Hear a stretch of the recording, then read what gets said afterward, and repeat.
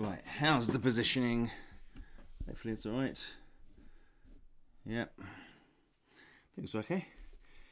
And let me just get the chat up so I can see this. Testing one, two, three. Testing one, two, three. Testing one, two, three. Sounds okay to me. Fantastic.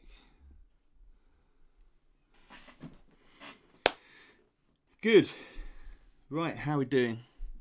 Okay, we've got the usual thing. This is um, the first 20 minutes. Everybody starts to come in. So if you've logged into the vlog, just skip forward a little bit if you want to see the playthrough of the secluded opening. Just like to give it a little bit of time before we uh, get into the nitty gritty. So, yeah, this isn't my usual day for streaming. So I would normally do Thursdays, but because last week I didn't do Thursday, I'm doing an extra one this week. Hence the Tuesday stream, and then we'll do a Thursday stream as well. Probably carrying on with this secluded opening,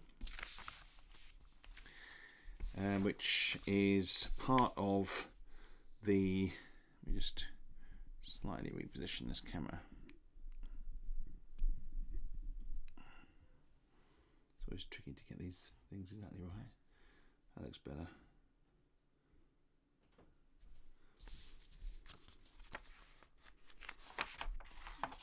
Okay.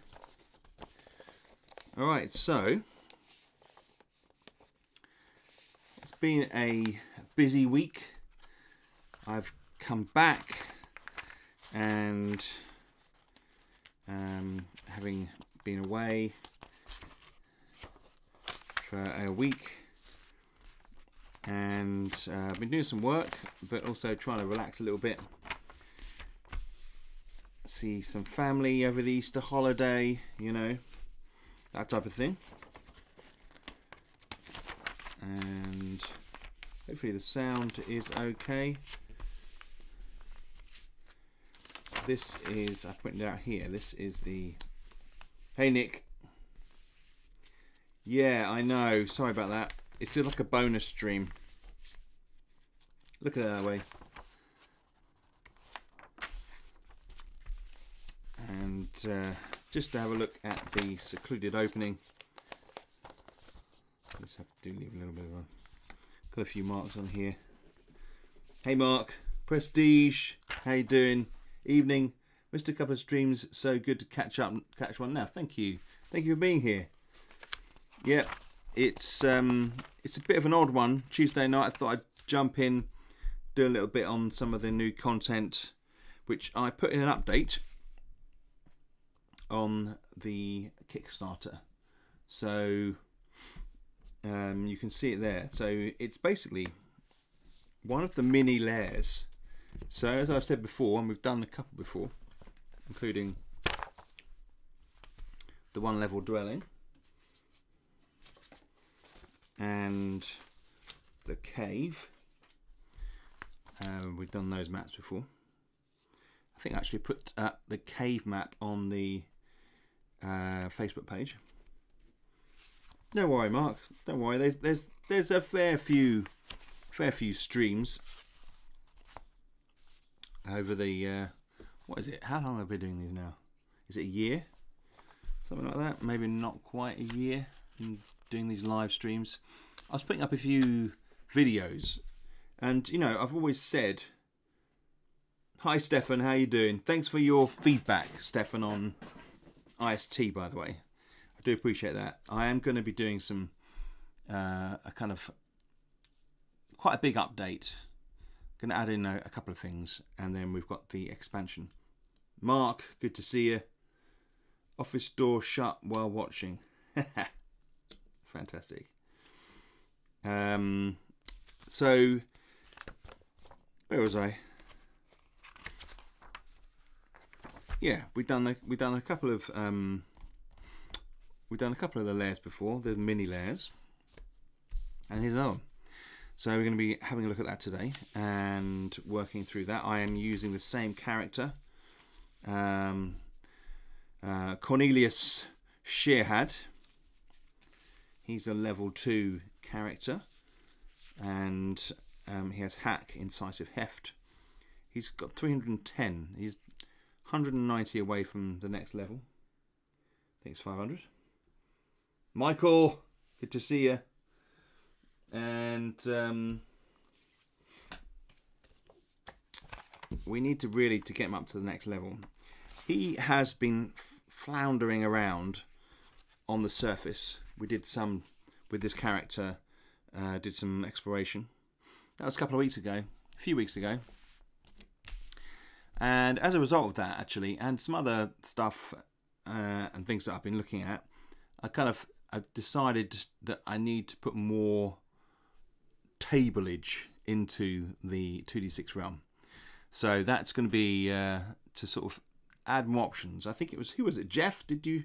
Jeff may have suggested um, that uh, we needed potentially uh, an idea could be to have another table you roll on once the area you're exploring is larger than say four squares. So I'm working up a, a larger table for that, which will add a bit more exploration. I've been working some narratives in as well. Um, I want people to have goals and mini quests that they can work towards if they want to, you know. Um, so that's all coming along nicely. Now, um, as I was saying about about uh, Cornelius, he's level two, and we need 500 XP here to go up to level three. So we're not too far away. Hopefully we'll, we'll land that. He's got 20 health as well. Um, he's using a great axe, no runes, and we have some uh, treasure over here. We did buy a bishop's mantle, so we've got primary fours and fives, minus one damage, um, secondary fours, minus one damage. There. Uh, narrative moments. Uh, we've got a repairs quest. Tried to claim plot. Oh yes, and we had the little the thing where we do some claiming, but that didn't really go. Didn't go very well. And we've got a throwing axe plus three and a fishing net. Got some teeth and fangs, bones, potion bottle, um, mushroom, and a malachite leaves. So um, he's got a few things. He's got some. He's got some malachite leaves, so he can do. He can heal himself up potentially, uh, if need be. Uh, with a little bit anyway. Got a potion bottle, and maybe some stuff here that you could use to make a sacrifice to uh, one of the gods, but we aren't in that situation. We are not in the subterranean world. We are in the secluded opening. So, um, just a little bit of a preface. When you're exploring the realm, every time you you you well, you reveal land on your on a turn, on a round, and the um, that each land has its own land type encounter table. And you roll on that, and sometimes it may throw up, it may say, oh, there's a secluded opening. Now, there, a secluded opening, what is a secluded opening? Well, that is basically, I was trying to think of something that would, would be something other than a building. So we've got towers, um, we've got caves and dungeons, we've got the main dungeon, but the caves I felt was like a structure because it had walls and ceiling, even though it didn't actually make it. It's not a building. But um, I just thought, is there something within the landscape that I could use or, or create? And so I thought, what if you go into a forest as an opening and it kind of might be having like rooms? I thought, right, we're gonna go with that. We're gonna go with that thought and see see, see how it how it goes. And the um, secluded opening came about and I've been working on this this week along with other stuff and uh, we will have a quick look at the rules quick uh, Brock hey Tay big fan of your 2d6 system you inspire me to start working on my own solo dungeon delve system fantastic Brock that is great to hear if I can be an inspiration for people, that is that's like one of the top goals. So that's fantastic. So let's have a quick look at the secluded opening now, um, and then we will work our way through one of the levels, um, do some do some mappage. Now I've got a slightly larger grid as well, so we can make the maps look a bit more detailed, and that's that's the plan. So the secluded opening, as I was explaining, um, is uh, is an opening that you might find, say, in a forest or a shrubland or something like that. Now the map size is 6 by 15. So we're going to move that across. So to the grid here. The grid. As they were saying Tron. The grid. So we have, so we need 6 and then we need 15. So this is a kind of like a long it's a long sequence, if you, if you like. So that was always my thinking. I wanted to try and create these slightly differently. So one, two, three. Uh, let's go in the middle here somewhere. Maybe we should just, yeah, let's just put it in the middle. What the hell does it matter? Let's do this. So one. So I will try and make these clearer so you guys can see darker in a sense. Four, five, six. Not very wide. You can see there. One, two, three, four, five, six, seven, nine, ten, eleven, twelve, thirteen, fourteen, fifteen. All right. See it there. So that's our area. I'll just do the other sides. Now, the dungeon that you would explore is say 20 by 20 or 25 by 25 so it's a substantially larger area than say the secluded opening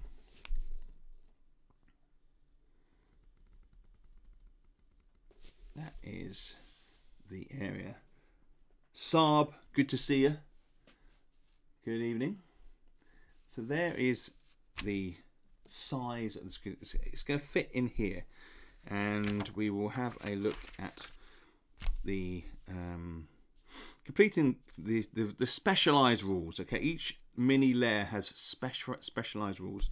So um, there is clear the chamber of creatures. All right, write the plot tag on the. we write a plot tag up here. We're just going to assume that um, Cornelius has found this secluded opening in his adventures on on the overland, and um, you don't need the light. Um, the uh, level of them you can you can get powerful creatures in these places. Um, Elliot, good evening, my friend. Um, tables, some tables will be from the tables codex, some will be the new tables from the back of here. Now, anybody can download this for a little play. If you do and you decide in your Facebook group, you can always upload that to uh, to there if you are Facebook. Ebit, always the wrong account, lol. Ah, Ebit again. Hey, Brian, how you doing? Good to see you, my friend. And um, so I'll be refer referring to both. There are there are no patrols in the secluded opening. Even though I put in here a secluded opening patrol table. Which I think should be...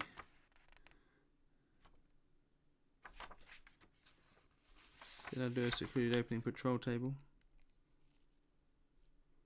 Yes. So that is wrong. I'll take that out straight away. There are patrols. Retreating. You can retreat from creatures in this, okay? So when you do, the um, creature has one last attack before you run. The creature will not follow you. So if we get into a situation where I say facing something like a, a Talus, Talus Lotus level 9 or something stupid, level 7, and I'm just a level 2, then I'm going to run. Yeah, there's no point. You save the character, get out. Maybe you've got some loot, and especially uh, Cornelius, he really does need some loot to expand his realm. So he's, he's heading in here thinking, right, I'm going to get some loot, maybe build some houses, get some get some people in my realm that will then improve the stuff that he owns, but also potentially in the future build him up to the legendary character that he he will he hopes to be.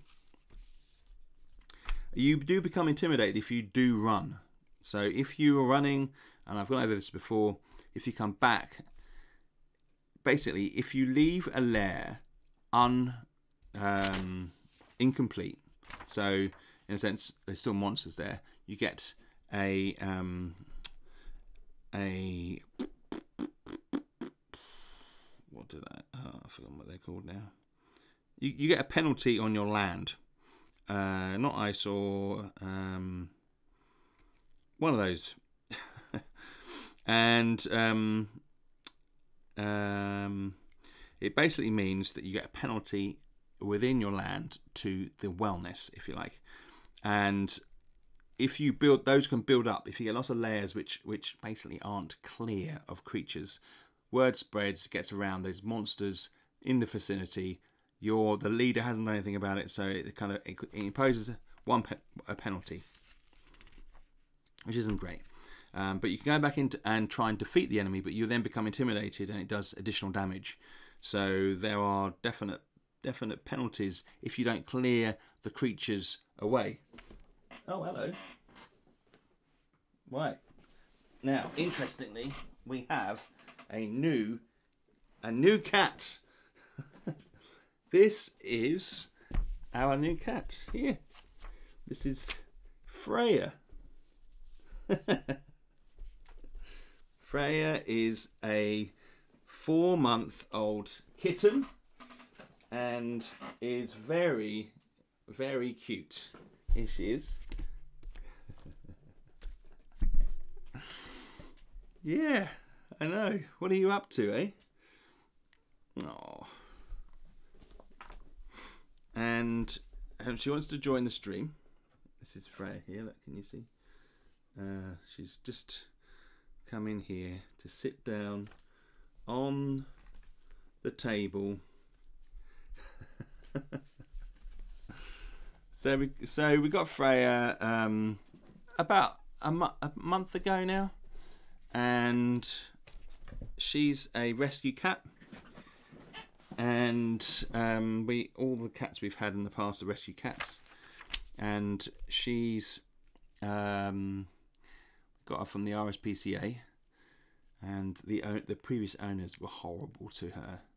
They put her back legs in boiling water and you know pretty pretty terrible.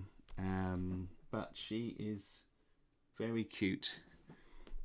And uh, I do we love her already so that's a good thing and I think it's we've been wanting to get one for a while and I think it's one of these things isn't it it's, it's kind of like a it's a mental health thing on, on some level they kind of they kind of keep you company especially I'm, I'm on, on my own all day and it's quite nice to uh, to have her around, even if she is a monkey. She's cheeky. Um, she's pretty smart, actually. Our last cat, Pan, he was a big Tom and uh, a bit of a bully. So it's quite nice to have something that's a cat that's quite different to that. So anyway, distraction over. Let's let's carry on with this. So doors, there are no doors. Um, the rooms, there are no large rooms. In the final room, uh, you first roll to find out what creature is there and um, what specific mutation it has. So there's, there's, there's like a dark presence, a kind of um, an energy that um, persists through these openings. They're kind of dark places at times, and um, uh, Von Sock, how you doing, my friend? Says uh, their cat is watching with them. So that is fantastic. What's your cat called? Julian. Hi, Toby. Good to see you. Good to see you too, Julian. Welcome in. Um, so the first level of the dwelling is a 2 by 2 And we need a little picture of that, actually, maybe. Maybe we'll just do it. It's just a 2 by 2 and with an exit in each wall. and you have no doubles, no no large rooms, and the walls are kind of broken. I'm going to try and work that up a bit with the drawing. Um, no large rooms, so if you roll doubles, you don't roll again. And rooms that aren't small rooms are just considered to be normal rooms, and we'll roll on the the uh, secluded opening rooms table, which we will have a look at. Um, there are 18 different types of room rather than 36 that you would get in a normal dungeon. Marmalade Sally, fantastic. Yeah, ours is just Freya or Frey Frey uh, after the, uh, the, the goddess. Um, and then we have uh, the little glossary here. So we've got TCX, which refers to because this is part of the expansion. This will be referring to the tables codex level appropriate and per level of adventure when you see the PL. Fantastic. So, little overview, and we're going to launch straight into it. Uh, hopefully, uh, we'll find some loot. Uh, as I say before, I'm going to try and make these maps look a bit more detailed. We've got a slightly larger um, spacing on the um, on the grid here. I printed out an A5 on an A4, so it, whatever scale that is, it's slightly bigger. And we're going to have a look. Now, the first room, just a 2 by 2 So I'm going to put that in. Oh, let's have a bit of light on this, shall we? There we go. 2 by 2 So I'm going to have 3 and 2 on one side, and then we're going to have a a door okay to have a, an, an exit in each wall. Now this means that um, the the first space you encounter on these is going to be corridors. Okay so you're going to have little corridors that go up. Now I haven't actually tested out this scale as yet. Our most grown kitten is called Bia, after the uh, Bia, Bia, after the Greek goddess of force. Slightly awkward out for her in the garden. Bia, is that Bia, Bia? How do you say that? Bia? Yeah, that is a bit weird, isn't it? Now, um, looking at this, already, so these could be corridors or they could be small spaces, small rooms here leading on to other corridors or other rooms. Now it depends how big this first room is going to be. So it's a kind of like it's kind of like a Warren type situation. So you've got these kind of so these are going to be little corridors that lead up. Now having let's put this in here. So I'm going to go up this first room here and we're going to roll for size and see what we get. Oh, here we go.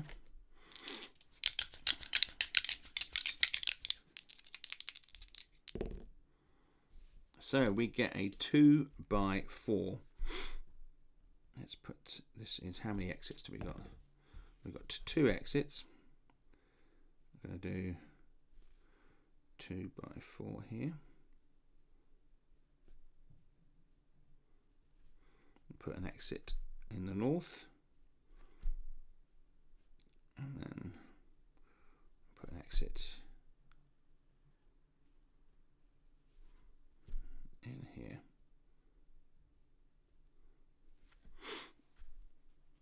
Mm-hmm. Hmm. Okay. So we've got this room here. So, um, right, first of all, I've done this wrong. So, firstly, I've just got carried away. We're going to have um, kind of like a, a kind of broken wall because this is the kind of the boundary. I've been thinking, I was just thinking about the actual layout there. And actually, I've never done it quite this narrow before, so we may well adapt this space. Maybe we'll just have no exit squares. Let's have a look here. This is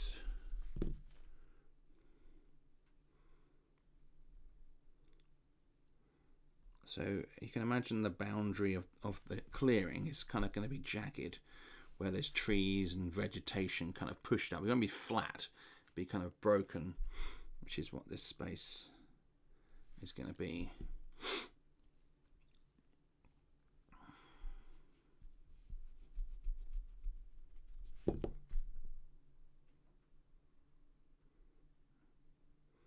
Just like that. Hopefully you can see that on there.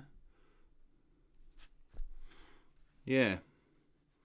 Yeah, I think interestingly, it's interesting actually. This cor this corridor I thought would work really nicely, but actually what would probably benefit is I think what we'll do yeah you can probably put it in the corner and have one room there so it goes in the corner let's do that So this is kind of design design in, in in progress. So this is this is an interesting one. So what I'm going to do is I like the idea of this, right? So let's just we've got the two by four. Hey Jim, how you doing? So we've got the two by four, and the what we'll do is in the rule book, I'm going to add this in here. That the room starts on the left on the left of the map, left corner. Yeah, that'll add a bit of variance. So because it's narrow, you have to start over here. So I'm going to rub this out again. This is designing.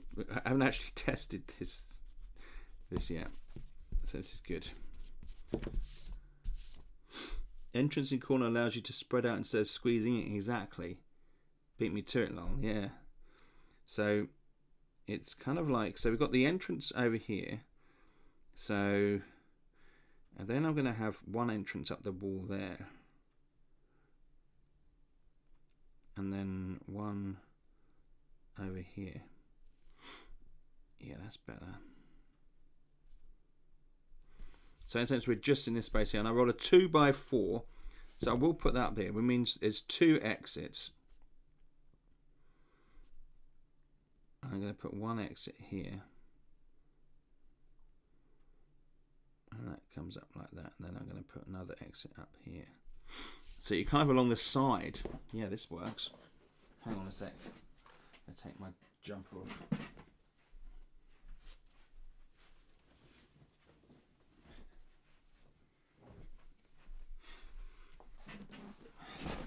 Right. Now, what I also feel is a, is a good thing to do is to actually take out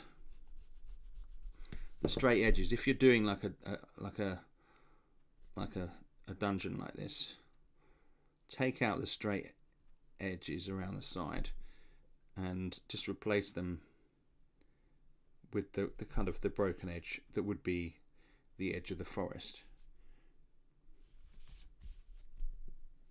I will update that on the on the file as well. All right. Fantastic. Okay.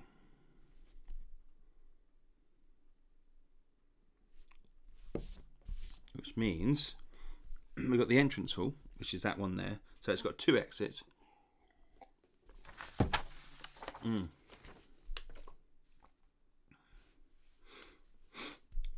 Yeah. Yeah, vegetation following a wall, Nick says. Yeah. It's kind of like, um, hey, Paul, how are you doing?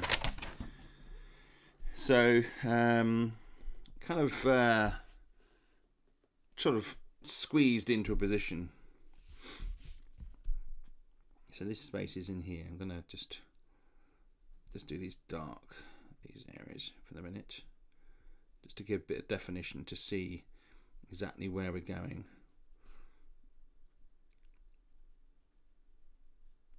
Right, and let's find out what this first room is. As I say, I'll try and put a bit more detail into that. This can go all the way along here. I Don't think much is going to go in there. Right. Yeah, I think that works better like that. We still really haven't entered the main testing phase yet for the game. That will come shortly when I once I've got a, a, a version that I'm I'm pleased with, and the the main tables are finished. The uh, engraving your own own runes won't be finished as yet. Certain little mechanical bits won't be done, but I'll be working on that while it's while it's being tested. Okay. Right. So here we go. What's in the room? Okay. Let's roll 2d6 or d66. 24. 24 is wild grass. Wild grass. As soon as you enter the open area, you sense a magical presence. The ground around you seems to vibrate, and as you move through the grass, it writhes up and tries to lash around your limbs. Roll a d6 and add your shift. We'll do that. Let's just put a bit of wild grass in here, shall we?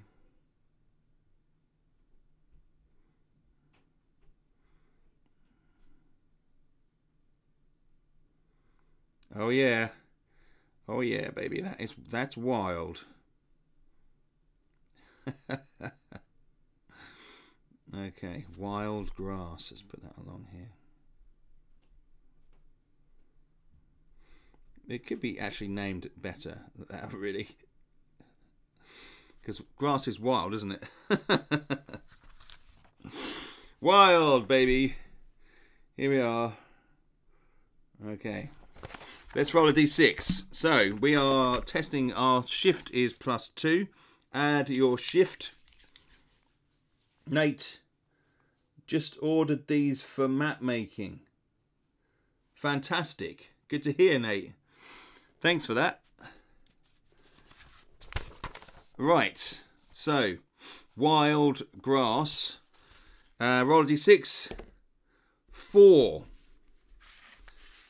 Okay, on a seven or more, you wrestle free. So four. Okay, on a five or six, you lose, use up the rest of your turn to free yourself. On a four or lower, you feel the the veins burning your skin and lose two two the vines burning your skin and lose two health points per level while you manage to cut yourself free. Oh, god damn it. Right, so I had to I had to cut myself free. I didn't roll very well there. So that is four points gone. That is a bitch. Look at that. Let's have some more wild grass over here. Wild. I might just change that room to writhing grass or twisting grass or something like that. Right. There. And it got me. And then every time I go through that room, I'm going to have to tang tangling glass. No, tangling. Tangle. Tangle grass might be better. Tangle grass. I quite like the sound of that. Tangle grass. I'll put that on there.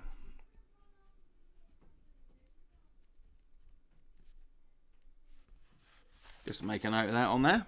Because this is just all rough, it's just I can make notes, it's no problem. Right, so no treasure, no enemies to face, unfortunately. I'm going to go this way here. So um, we've got we've actually got three across, but quite a way up. So let's have a look, see what we get. So three by five, fantastic. I'm gonna go. I'm gonna bring this in here, and so we've got one, two, three, four, five, and just have these. How many exits? One exit which goes up here which is absolutely fine and then um, I'm going to lose this edge here. Uh, do, do, do, and one, two, three, four, five. Okay, it fits in nicely down here. I can hear some of the my daughters laughing in the background. They're laughing a lot at the cat at the moment. It's, she's hilarious.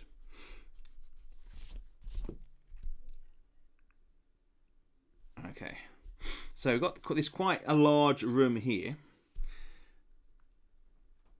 We've escaped the tangle grass with uh, with injuries, and in fact, I'm kind of tempted to eat some Malaco leaves, which will bring me back. Uh, if it's two, isn't it? Malaco. Is it two or one? I can't remember. Malaco leaves. Du, du, du,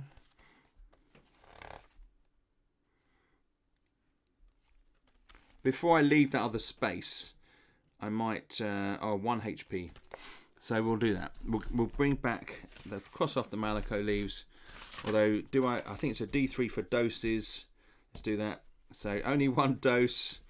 Um, we'll cross off the Malaco leaves from my list there, and I will give myself 17 there, just as I go in, and I will cut some grass um, from. I'm going to cut like a, a cord, a cord of of of grass some of that uh, as I was as I was cutting my way through that grass. So it's quite tough. It's almost like rope. So I've I've taken some of that. I'm just gonna try to get an edge of my pencil. I'm just gonna shade this in. It's it's clear. It's nicer to see on the screen there.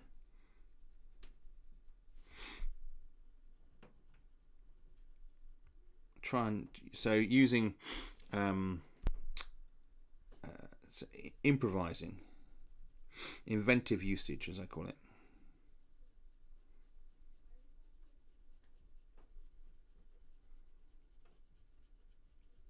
All right.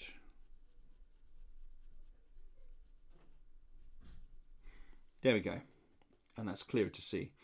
Um, not distracted, but also hyped they're just two-sided felt tips times 80 colours with wide and thin tips.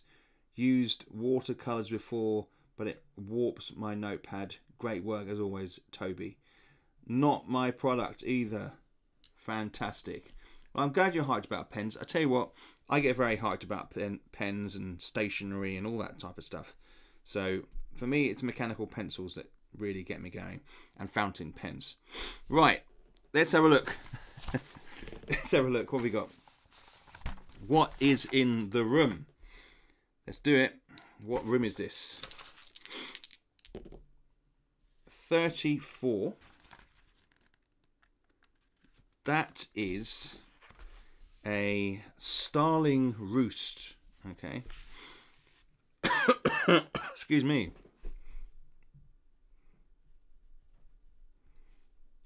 Starling Roost. But it's not what it sounds. Several trees have grown up at the edge of the clearing here, and a flock of blood starlings take flight as you approach. A figure is tied to the trunk of the tree where the birds were. They appear injured, but may be alive. Okay, Brett, good to see you. You finally catch a stream. That's fantastic. I finally catch you in the stream, which is just as fantastic. Okay, let's. Um, so we've got. So we've got a someone tied to a tree. So we're gonna try. I'm gonna try and draw that in here. We've got some edge of a tree, maybe a trunk here, maybe a person tied to the tree here. Going to find out a bit more about this person, I, I think. There's a tree here. I'm going to put some... There's some other trees around as well. Don't question my treeage. Okay. There, and maybe some blood, maybe some tracks leading up to the tree here. Who's who's doing this to this poor person? Just colour in the back here. I Don't know whether you can see these details.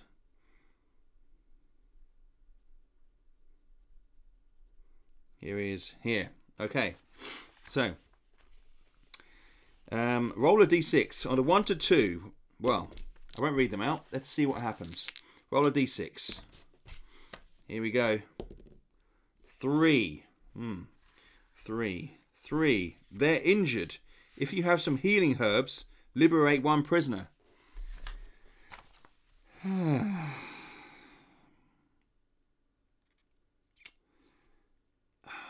Dear.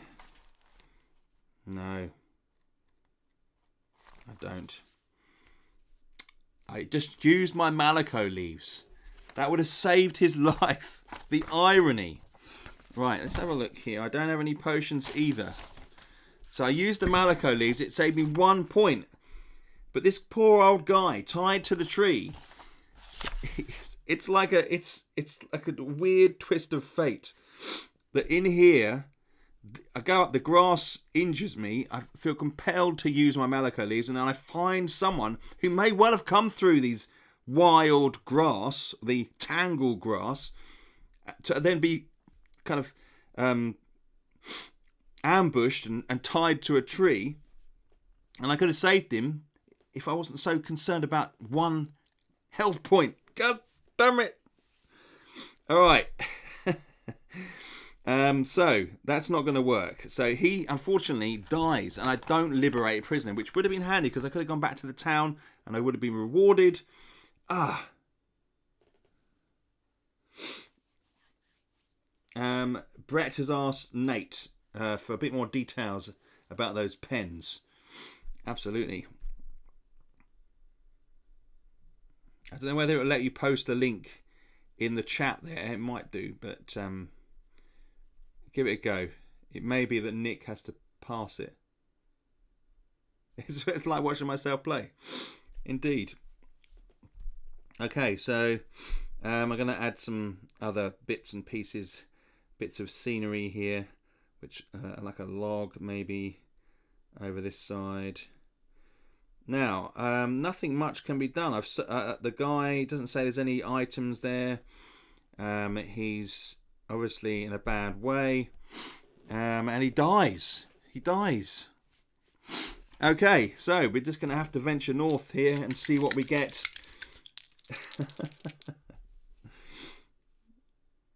I really needed that one HP, Julian says, I know. We never know. We may it may be that I survive by one HP. Right, we're gonna go north. Three by six. Okay. Fantastic. So we're gonna go into here and we're going to have it's going to go up to the wall here um, one two three four five six okay all right fine I'm going to get rid of the straight line as we've been doing and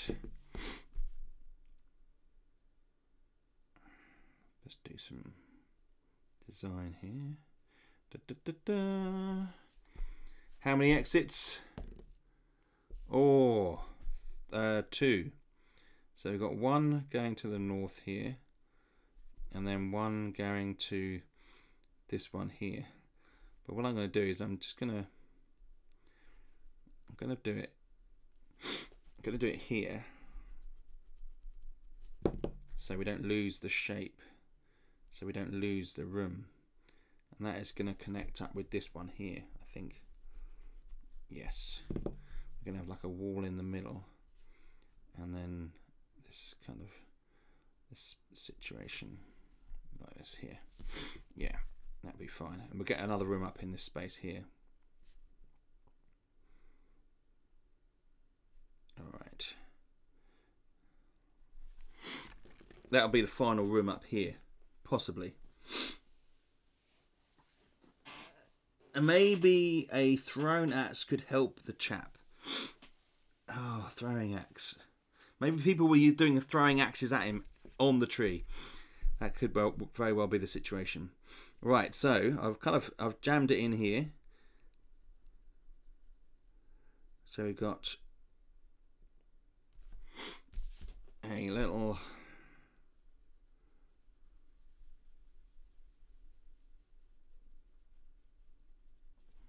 All right. Okay, what is this room up here? It's quite a good good sized room, I feel. So, um, let's have a roll. Um, 66. Now, what is that? Let's have a look. 66. Hidden stash. All right. Let's um let's put that up here. Hidden stash.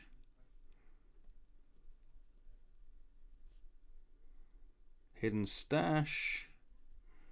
This sounds good. Right. At first the area seems empty, but then you notice marks in the grass to one side and realise there's something hidden further in. You head over and can search by rolling on HILST1, but as you do, there is movement behind you. Okay, so we are going to just have a guy maybe come up behind us when I'm trying to search for the stash. Right, let's just put some details in here. Um, we've got some marks in the grass. Maybe it's over here and a kind of like maybe some kind of revealed turf over here. Maybe it's been kind of dug up and then put back down, or maybe there's a hole, something in there like that. Okay, we'll get a bit low. There we go. All right. So, um, the hidden stash roll. Oh yes, someone comes up behind you. So we're going to have to roll for the per, roll for the encounter first and see what the situation is. This could be pretty tricky. We've got um, five. It's a stranger. Okay. If you survive, you discover some Zimorus leaves as well. So, um, we've got a stranger. So we've got two tables to roll on. The, uh, the stranger table, but the stranger table is actually not in this one. It is a different, more complex table. So we'll ignore that and we've got to say either warrior and a mystic or two bandits. All right, we're gonna we'll do it that way. The stranger table is is part of the main book, so we won't get that out. Actually, it's the only one that isn't in this little booklet here. Unfortunately. So either a one one to three is warrior mystic, four to six is the bandits. One to three warrior and a mystic. All right, let's see whether we can survive this fight.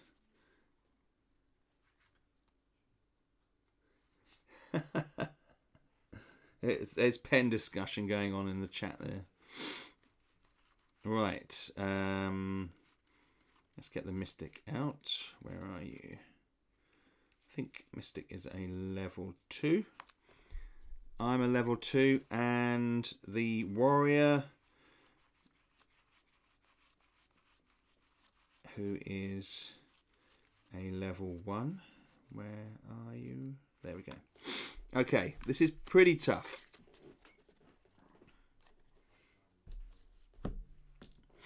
So these two versus my guy. Let's get the up there. That'll kind of do. And then we've got the tracker here down the bottom there. How's that doing? That looks all right. So we've got round one. And my attack first. These guys are HP 9. But the Mystic does more damage. And has more chance of deflecting damage. Although the stats looks their HP is similar, um, the Mystic has more powers. So I'm going to try and hit the Mystic first. Okay, cool. Been using some ah. Here we go. I've got three, three, two, six, four.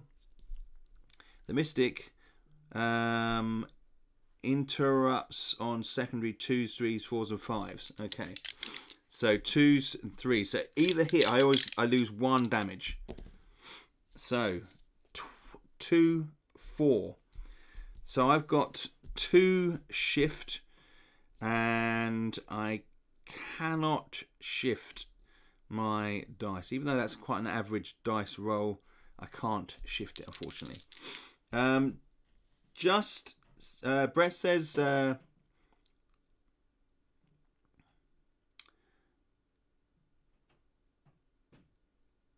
uh, using my son's UK little air gun felt tip pen. Lol. Uh, just since uh, Brett Brett says um, just since 2d6 Dungeon and then Rad Zone, I have a big set of coloured pencils, then wet eraser markers, and now I'm going to need those markers Nate mentioned. Good work, Nate. Right, so Mystic 2 2. Oh, Life Drain. So that is D6. Johnny, good to see you. Hi Toby, can't stay but stopped by to say hi. Good to see you. Thanks for popping in, Johnny. Um, so, 2-2 Mystic has got a 2-2 attack over here. Life Drain. God damn it. D6 plus 1. This is very bad. Oh, but that's okay. One. So we got a two damage here. 15. Thank God I ate those Malico leaves, eh? and then the warrior attacks as well. One, two. Oh my God. Uh, ace. Oh, did I deflect any of that last damage? No, I didn't. Uh, one, two is slash. D6 minus two. Oh my God. Two damage.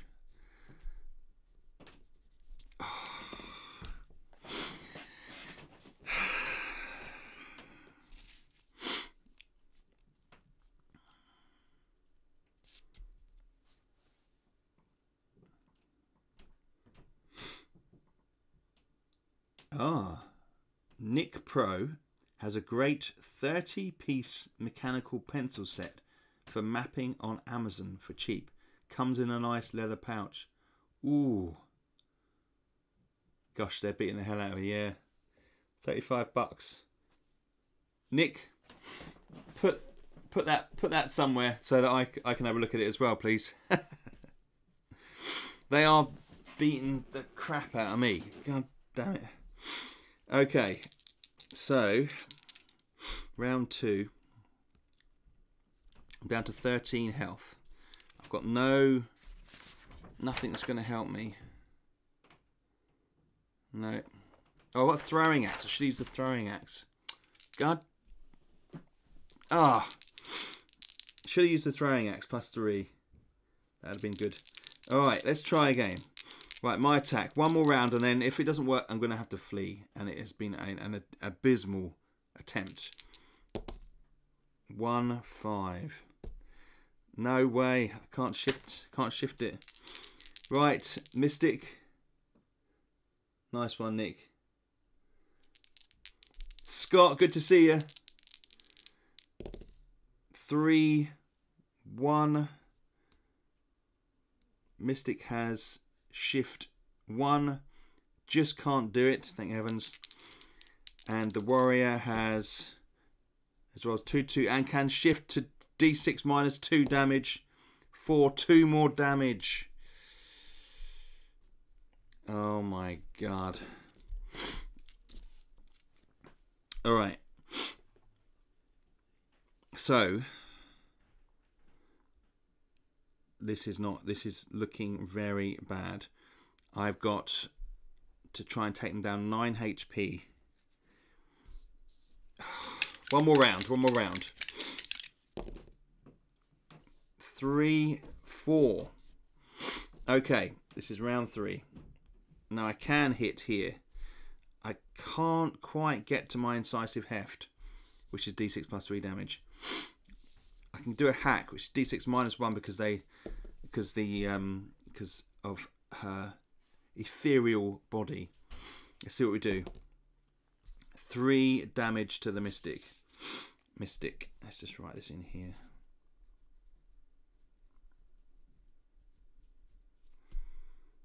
Um, nine down to six, and warrior.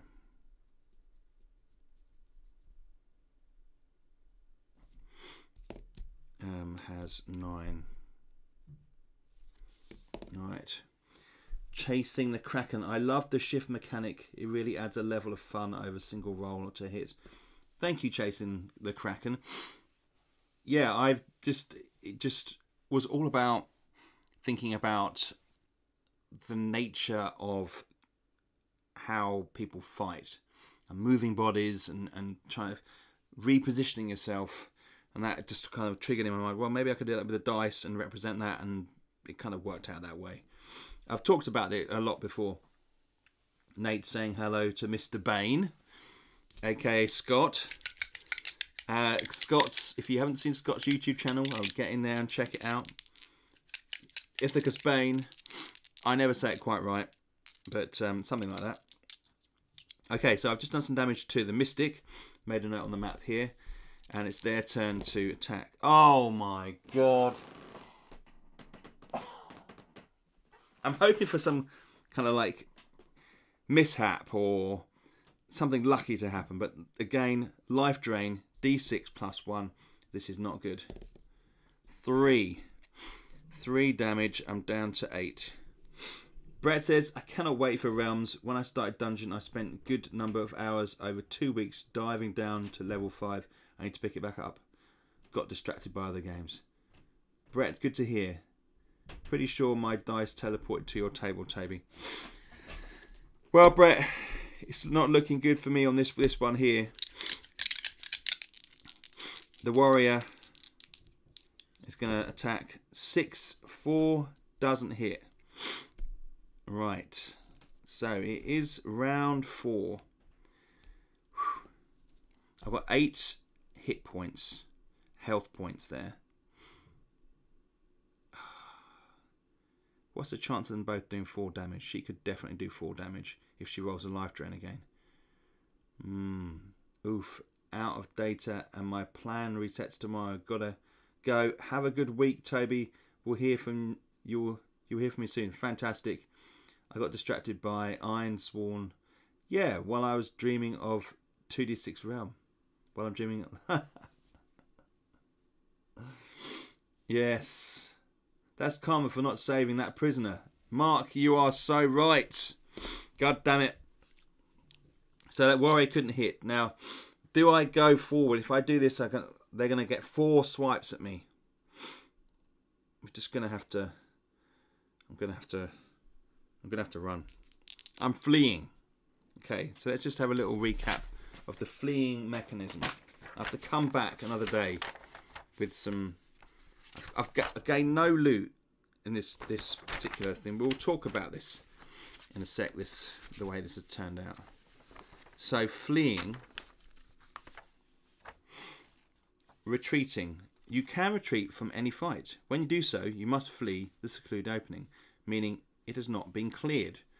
When you escape the creature, it has one last attack as you turn and run. In this case, both will get to to get get to attack. Um, we need a DR Games Discord, or is there one I'm not aware of? There is, and the person who runs it, Nick, is he's just left. Maybe I don't know. Um, yeah, they get a free swing. Creature will follow you, will not follow you from the secluded opening, but remains in the current location. Note it on the map, which we, we would do. If you return to fight the creature, it is healed to full health and you are intimidated. Um, the rooms you have cleared already remain cleared and you start the room you fled from. As described above, you become intimidated by a creature when you retreat and end a combat. If you then face the same creature, same exact creature, although not you are not discouraged, you are intimidated. This causes a type of flinch reaction when defending against them, meaning the creature you are intimidated by has plus one damage per successful hit. There you go. So there's a there's a price.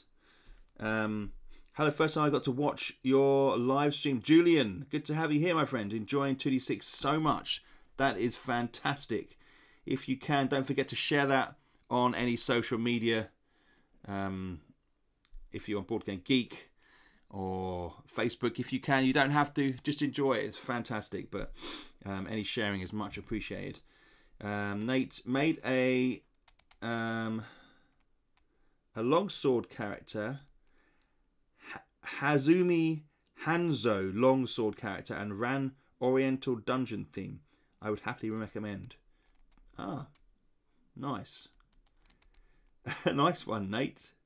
2 6 is one of the most addicting games that I've ever tried. Thank you, Julian. All these lovely compliments. I don't want to say. A- agreed, Julian. Same with Rad Zone for me, Brett. I, I, we are doing some more stuff with Rad Zone this year. Um, we've got obviously lots of plans for 2D6 Dungeon. You know, the 2D6 Realm is being written, so there's a big future for both those games. Got to try Rad Zone for sure, Brett. Get the box set. Well, you know, he said it, not me. there is a box set. right, so um, we're fleeing. So that means that these two guys, they get... Um, here, here, Brad. two Julians. There are. Hey, Julian, meet Julian. so these boys here, they've, they've defeated me. I'm going to run. I am not the most experienced character I, I should that has played 2d6 realm before. So he's at a level 2 character. So ideally, some some of these realms are quite dangerous. You probably want to be like level 4, level 5. You know, you can't even be level 10 and go and deal with these things much more easily. JB Moya. Wow, how are you doing? Uh, Brett? No? Brett? Uh, it's because JB, yes, because it was your your partner and you initials. So yes, Brett, you read it. Look.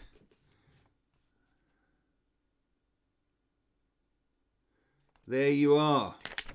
Thank you for doing that. So we've been been testing it a bit.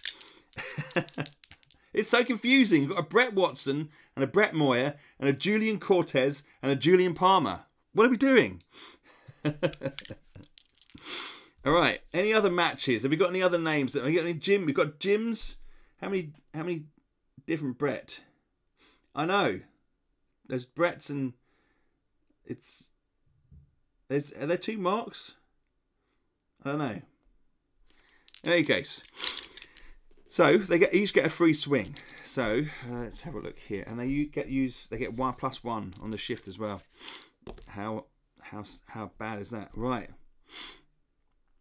So plus one. So yeah. Oh no, life drain. D6 plus one.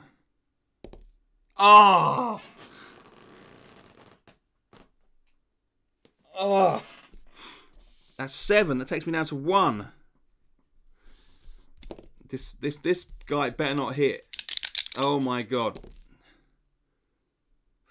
Three five. No, he can't hit. oh my god. Right, okay, so he can't hit there. The warrior and the mystic stay in this place here. Oh my god, what an irony. What what irony. Yes! Julian's Julian's hit the nail on the head. So, ah, what three rooms and we've got like a little little mini story here, okay? Let's go over this. Because that last that last bit is just fantastic. How how these things work out sometimes. Okay. So, so the story of the secluded, um, I'm going to call it the mystic, the mystics, uh, uh, the the mystics, um, uh, what the mystics? Come on, help me, people. Uh, the Mystics Glen. Maybe the Mystics Glen. Let's call it that. Or the Mystics Camp. The Mystics. Mystics um, torture camp. No, that's that's not my Mysterium. I like it. The Miss the Mystics camp. I'm just going to go with Mystics camp for the moment. We can we can change that. So right. Okay, so the character entered. He he Cornelius Shearhad, Governor Cornelius Shearhad, entered with 20 health points into the um, into this um, secluded opening, uh, which is one of the mini lairs. Okay, and he's he's gone in here. He's gone up, and he's and this grass has kind of come up and uh, uh, clung onto him, and we kind of we've kind of termed it as a tangle grass. So I'll rename that. And in here, um, really bad result. Okay, the it, it, it burns. It kind of it tears at his skin, and you can feel the burning. But he manages to cut himself free, and he crawls into this space here, and across the way, he sees a guy tied to the tree opposite, and he, he heads in, and he he's. But before he does that, he's like, ah, oh, these injuries. So he take, takes down some Malachor leaves and and he heals one health point uh, to sort of, and then he gets to this guy. He's then then he spots the guy tied to the tree, and he's he's like, oh God damn, he's on the he's on the edge, on the precipice, and he he hasn't got any healing herbs, and he goes up and takes him down from the tree and lays him on the ground, and the guy passes away. He's got no, he's got no possessions. He's been tortured by somebody. Who could that be? In any case, um, our valiant hero, he pushes onwards into the next area, and it, it's like this hidden stash area. So this is obviously some sort of um, the throwing axe. Oh, god damn it! Yeah, we, we could have used the throwing axe, or they were using a throwing axe on him. So he's he's so he used the Malachor leaves, to, and anyway, he goes into and goes over, and there's like a trail and out from the bushes jump the mystic and a warrior. So the mystic's in charge is level two, and he's like, let's take this guy down. These guys have probably been torturing this poor bloke tied to the tree. Okay, so he's then uh, uh, they're like they're attacked, and it's pretty hopeless because Mike, because Cornelius, bless him, he's he's level two, Mystic's level two, Warriors level one, and they're at they're out outpowered him and reduce him to eight hit points. And then the, as as Cornelius turns and runs, the mystic does one last slash, life drain, grabs his shoulder, and he feels the the kind of the energy drain from his body. Cornelius and he, he falls to his knees and he, he jumps up and, and, and moves on because he's got one health point left, and he makes his way out through to, back to the entrance and escapes. The irony being, he ate the Malachor leaf, leaves, and that gave him one health point. If he'd used it on the guy on the tree, he would have died at the hands of the mystic and the warrior. Wow, it just all tied up really neatly there. Now that is there. Cornelius is going to go back. He's going to get buy himself maybe a, a potion or or get some something that's going to help a scroll maybe and go in and deal with these guys at a later date and the Mystics camp stays in your realm. Okay, it stays, it stays in the land. Now I'd, I'd mark it up with a plot, and I know on the map where it was, and I get an atrophy um, to my kingdom, and um, because they would know of the mystic's presence in the area. You see. Um, right, Brett. I tend to forget when I have to throwing axe, I realised I nearly died. Yes, I know. I, it's easy to do. It's, it's certainly very easy to do. That would have been handy. All we're missing in our games is Toby narrating our quests. Thank you, Brett. Oh, it, it's nice. It's just an enjoyable thing. Just throw yourself into it. Better have and not need than need and not have. Huh? Hmm. Um. Pint. Uh, Jeff, I made it, but my connection is not good right now, so I'll tune in later to see what I missed. Jeff, good to see you. Jeff, aka Lars. Um, we've just done this mini adventure. You better see how it plays out. It's quite fun, actually. Um, how about the mystic, the mystic thicket? Possibly. Uh, that was so fun, that little delve. Thank you, Julian. Yeah, it was a little delve. Uh, the, the Mystic Thicket. Let's do it then. Let's, let's call it the Mystic Thicket.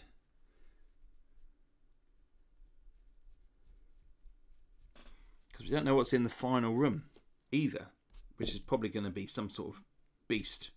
It will be a beast. So there's another fight to come in this little area here. Maybe what we'll do is maybe we'll we'll come back in and um, try and, and do it next time.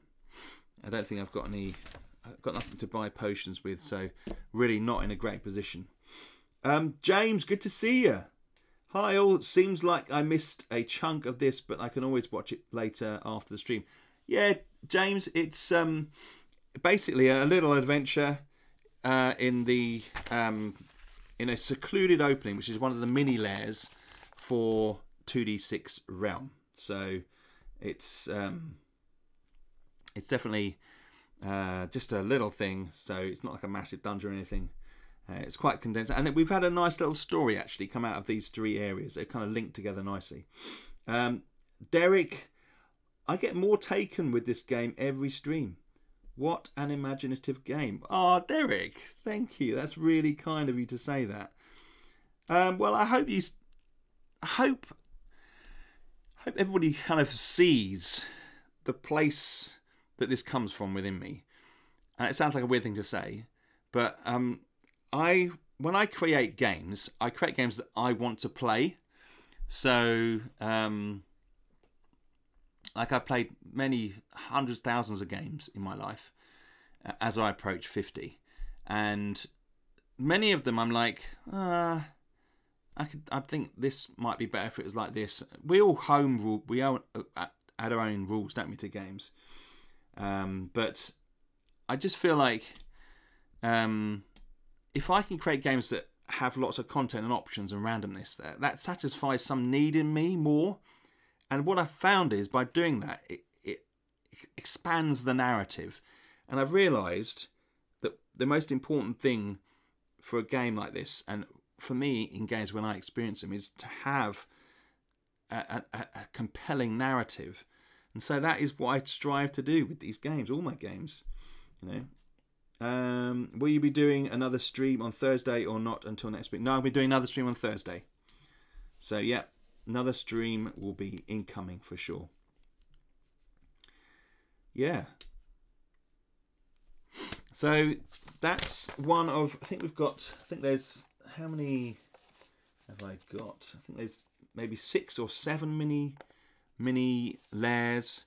Um, so we may return to do some of this. I may just boost Cornelius up a little bit, maybe give him a healing potion, all his health back and we'll go back in and see if we can finish this off, which will be fantastic. Thanks, Jim. Brett, that's kind of you. Um, nice. We'll try to watch when stream starts. Fantastic. Well, make sure you're following uh, on the YouTube. I think it's subscribe on the, to the YouTube channel. Um, and um, now the narrative Julian says narrative adds 30% to 40% of the thrill. Yeah, I think that some people aren't necessarily narrative isn't like their main thing. so some people get caught up in the mechanic, which is fine. Um, and the the mechanics some people say like Euro games. Uh, I'm right down the middle. I like I like a good mechanic, like the combat system here, which I spent quite a bit of time developing, and but yet I also like the narrative, which is kind of swings more American kind of theme. But I'm sort of down the middle, so I like a, a bit of both. So hopefully that comes across. Um, I've taken to writing a log, numbering the rooms, describing my quest in first person, and tracking HP stats for fights, etc. And of course, drawing the dungeon, which is 50% of love for me, Brett says. Yes. Well, I think a few of you will know that, a few of you know that my background sort of begins with drawing and, and art, and that's kind of my foundation. And I got back into drawing uh, about five years ago when I started drawing maps again. And then, um, really deep down, I'm a, I'm a designer and writer. I know that people know me for drawing maps, but um, really, I spend all my time writing and draw, uh, writing and, and designing and coming up with ideas, um, which uh, I love. I love doing, and I just think about all the time. So, um, but the drawing the maps is always a lot of fun. It, it, just I just imagine myself in the map, in the location, and it just adds flavour. So why I try and add little details, bring it bring it to life. I will ink this in as well, so we can have that on the Facebook page. If you're if you're in the chat at the moment, don't forget to click the like on the uh, YouTube video. I don't say these things enough. I, I watch other professional streamers. I'm just like a part-time streamer, um, and they're saying, "Guys, don't forget to click the thumbs up on the YouTube video. We want to see more." That I'm like, okay, I must remember to try and say that. Um, I decided to get a copy of 2D6 because I saw the combat system on YouTube and the shift mechanics was the one thing that convinced me to get it immediately. It was probably um, Daniel's video at Dungeon Dive. Shout out. Shout out to Dungeon, to uh, Daniel. The Dungeon Dive. Uh, fantastic. The most, probably the most knowledgeable um, reviewer of and designer of, of he's he's a reviewer. He's designing his own game now, but he's been reviewing video uh, games like this for years now, and he's fantastic. So I would recommend you get in there and watch Daniel's channel. He is a star and I, I listen to everything he says. He's he's a great guy. Um, join the dungeon is a lot of fun too. Yes. Uh, don't forget to like and subscribe. Smash all the buttons. James says, "Thank you, James." yeah, this. Thank you, Brett. Joined the stream late, but um, to get back and watch this when stream is done. Can't wait for realms to ship.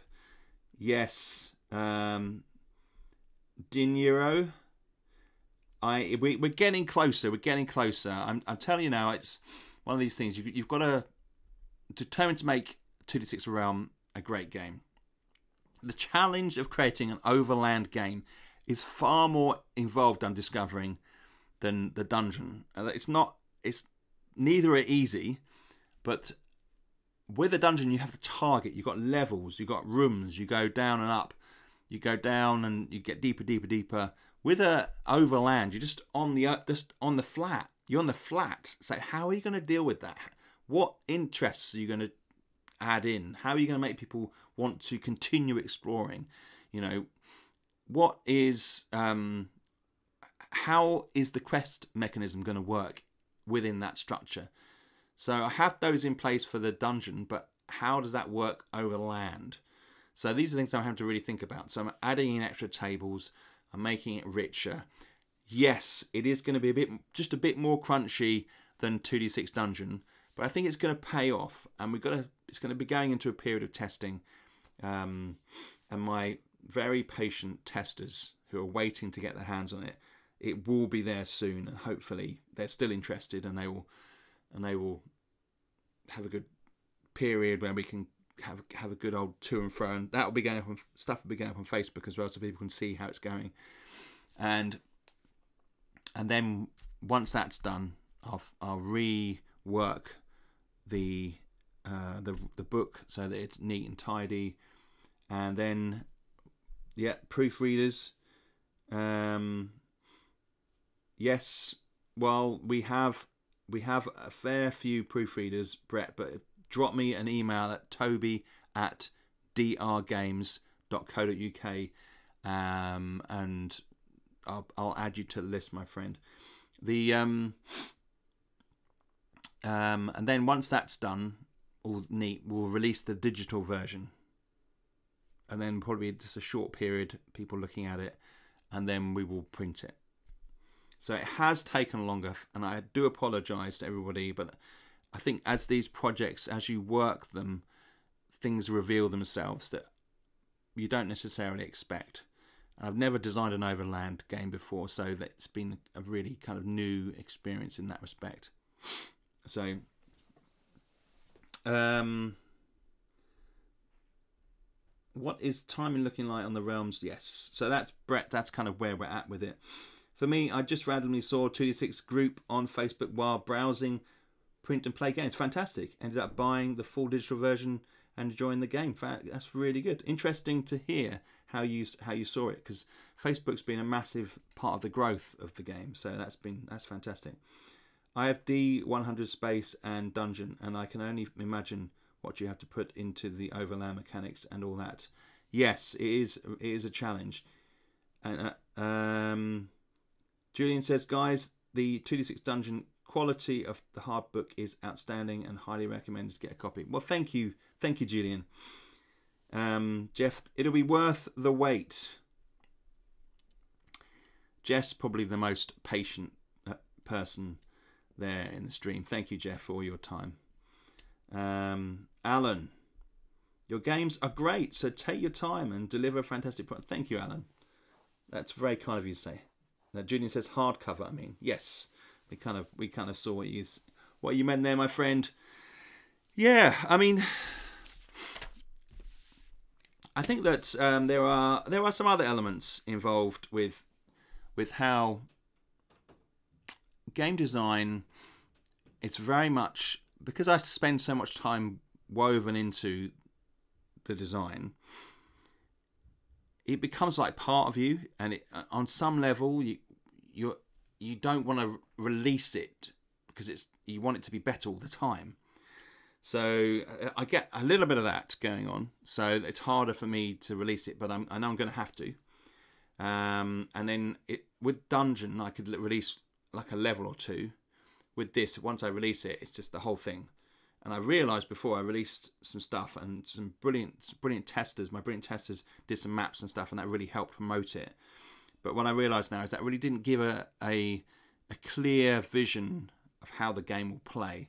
And when I do now release it back to the testers, it's been a while since they've had a good look at it.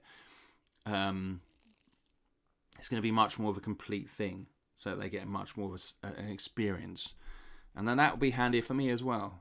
You know, so there, there's lots, so much to learn, and um, there's a lot of psychology behind it as well. I feel. I think most of us are fine with things taking longer as long as we get regular updates. Yes, you're really good at that. Thanks, James. I do try. Sometimes there's not a huge amount in them because I'm just kind of working away at it. But um, oh, I'm constantly I constantly try and be available. That's part of the reason why I do these streams, not just to sort of to show you this stuff, but also to sort of be forward facing and you know face people's questions and explain what the situation is. You know, I wouldn't be doing this if it wasn't for you guys.